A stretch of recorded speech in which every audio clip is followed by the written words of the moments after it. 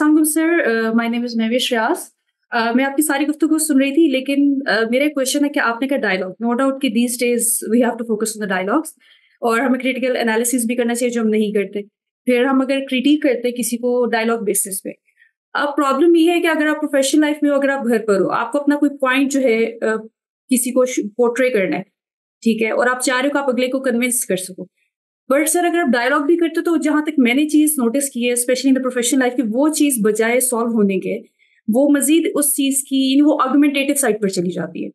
तो अब मेरा पॉइंट ये कि मजीद की वो चीज़ खराब हो रही है, या वो चीज़ बिल्कुल ही आप ये कह लो डिस्ट्रक्शन की तरफ़ जा रही है instead of getting some sort of you can solution you are moving towards the other side तो उस माहौल को अगर वो डायलॉग सुनना ही नहीं चाह रहा person whether your heads whether your principles तो उस सिचुएशन में क्या डायलॉग काम करेगा? देखिए डायलॉग के लिए दोनों जानब से कुछ नागुजीर तकाजे हैं, जिसके बाद डायलॉग फ्रूटफुल होता है। उसमें पहली चीज़ क्या है? आप ये मान कर डायलॉग करें क्या गलत हो सकते हैं। दूसरी चीज़ क्या है? आप इल्म और इस्तदलाल से कम्युनिकेशन करें। तीसरी चीज़ क्या है? कि लोगों की इज़्ज़त नफ्स और जो इखलाकी मैारात हैं उनको अपनी गुफ्तु में मलूज़ रखें।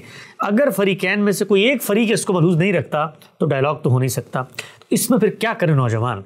देखिए, इसमें भी बहुत सारे इम्कान मौजूद हैं। आप अपने मुखातब बदलिए, अपने हल्के तब्दील करें, आप नए लोगों को तलाश करें जो आपसे उस दर्जे गुफ्तु कर सकते हैं। फिर गुफ्तु करने का मरला बहुत बाद में आता है। पहले उस वैल्यू सिस्टम पर लोगों को लेकर आएँ कि क्या वो इस बात को मानते हैं कि गुफ्तु हो सकती है? क्या वो इस बात को मानते हैं कि वो गलत हो सकते हैं। क्या वो इस बात को मानते हैं कि बामी एहतराम के साथ तबादला ख्याल होना चाहिए? तो कुछ ड्राइवर्स हैं जो पहले इंस्टॉल करने पड़ते हैं, उसके बाद वो सॉफ्टवेयर काम करता है। तो हमारे यहाँ ये बात ठीक है आपकी कि इस वक्त जो अनारकी फैली हुई है माशरे के अंदर, उसमें तो जो दानश्वर हैं, जो उलमा हैं, वो आपस में डायलॉग करने पर तैयार नहीं चाहिए जाए कि एक आम नौजवान दूसरे से डायलॉग करे, लेकिन इस माहौल के अंदर भी मैं जाता हूँ। देखिए, हम यहाँ बैठे हैं अमेरिका के अंदर। अकेले हैं। दो लोग होते हैं यहाँ पर बैठ कर काम करते हैं, लेकिन हज़ारों, लाखों लोगों तक बात पहुँचती है गुफ्तु होती है। आपके साथ अभी मैं मुकालमा कर रहा हूँ। तो जदीद ज़रा अबलाग की तरक्की ने ये इम्कान पैदा कर दिए हैं कि आप इस वक्त दुनिया से मुखातब हो सकते हैं। आप लोगों से आज़ादाना तौर पर गुफ्तु कर सकते हैं। तो हमारा एक बहुत बड़ा मर्ज़ ये भी होता है कि हम अपने उसी महदूद दायरे को बदलना चाहते हैं। वो नहीं बदलेगा कभी। जिस शख्स ने अपने आप को बदलने का तहिया नहीं किया, दुनिया की कोई ताकत उसको नहीं बदल सकती। इसी तरीके से। डायलॉग में जो बड़ा मसला होता है, वो ये कि आप उन लोगों से डायलॉग कर रहे होते हैं जो पूरी उम्र उस नज़रिए के ऊपर बैठ के खपा चुके होते हैं। तो उनको तो अपनी मौत नज़र आ रही होती है उस डायलॉग के अंदर उतरते हुए।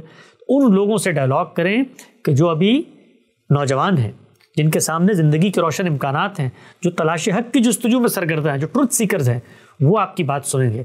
आप ये देखिए कि ख़ुद पैगंबर ने जिस वक्त दावत का आगाज़ किया तो पहली जंग के अंदर ही पूरी लीडरशिप का खात्मा हो गया इसलिए कि गुफ्तु पर आमादा नहीं थी, वो लड़ना चाहती थी। ये नौजवान है जो ईमान लेकर आए हैं आप पर सबसे पहले। तो आपको भी अपने मुखातबीन का इंतखब करना है और उन मुखातबीन की पहले तरबियत करनी है। और ये भी देखना है कि आपका दायरा इख्तियार क्या है। अगर मैं एक आम नौजवान हूँ तो मेरा दायरा इख्तियार माशरे के उलमा से डायलॉग करनी है। उलमा से डायलॉग हम करेंगे।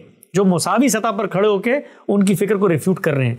तो एक आम नौजवान ने अपनी सतह पर डायलॉग करना है तो वो उन्हीं चीज़ों का इंतखब करेगा।